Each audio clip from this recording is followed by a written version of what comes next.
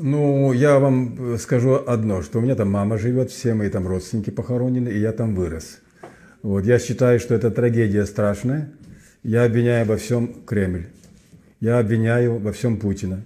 Я обвиняю всю эту э, гоп-компанию кремлевскую. Вы можете показывать, можете не показывать, это ваше дело. Потому что э, украинцы им никогда этого не простят. Никогда. Они погубили молодые жизни, вот около 10 тысяч. За, за что? Как говорится, за что? Что им Донбасс нужен? Что им Крым нужен? Они обосрались со всем миром, Россия, понимаете? И вот из-за этого всего зачем хочет Украина в Европу идти? Пускай идет. И Россия должна жить по-европейски. Вы видели, как они там э, били, калашматили э, молодежь? Это нормальная страна? Это уродливая страна, я считаю, понимаете?